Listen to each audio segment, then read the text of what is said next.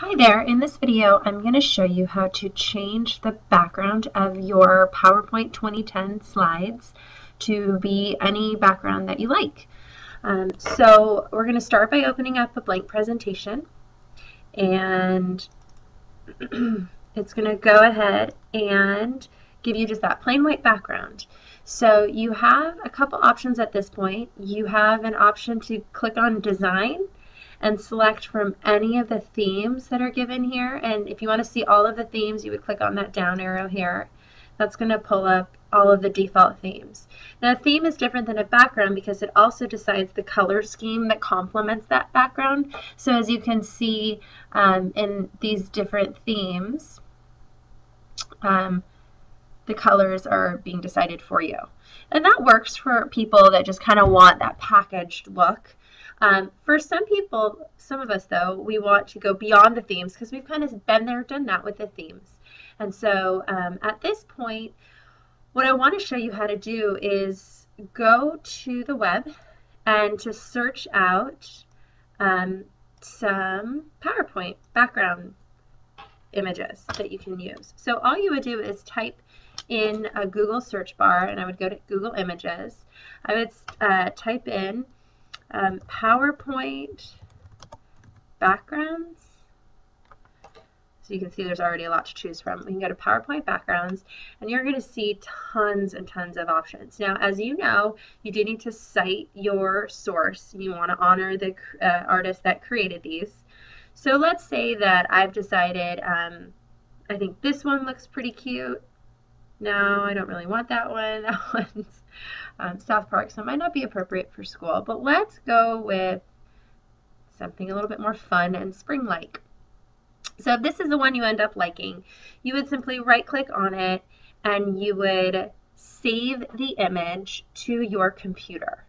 Um, so what I have is on my desktop, I have a folder and I title my folder Desktop Images. And from there, I can create a new folder for PowerPoint and open up that PowerPoint folder and start saving all my background images. And notice it's going to save as a JPEG, which is a which is an image file, which is great. So you want to click Save. It's going to download, and now I can go ahead and minimize the web. And now I'm back on my slides. So still under the Design tab, you're going to go ahead and click Background, Styles, and then click Format Background. Now you're going to have some options which you may or may not even know exist. So you have a solid fill, which means this color that you select right here will solidly fill the background. As you can see, I changed different colors. I can see what it looks like on this slide right there. There's a gradient fill, and you can control how, how uh, extreme that gradient is. You can change the direction of the gradient, all sorts of fun stuff. But you want to click on Picture or Texture Fill.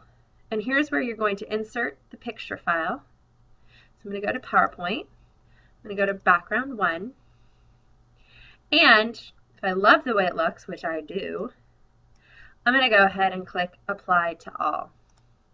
And that means that anytime I start a new slide within this particular presentation, it's going to be set on that background.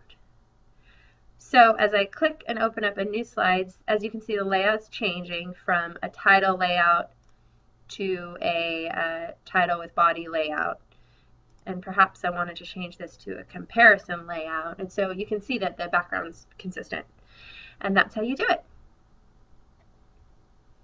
I do want to remind you, um, anytime we take images from the web to honor the sources that we are getting them from, we want to go ahead and copy the image URL, which is going to give us the web address that that image came from. And on the PowerPoint itself, I always recommend creating a slide, and I keep this at the very end, and I title this my image credits.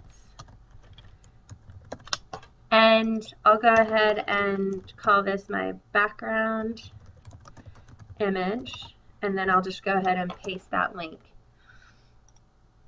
And I'm just going to really quickly change the background of this text box so that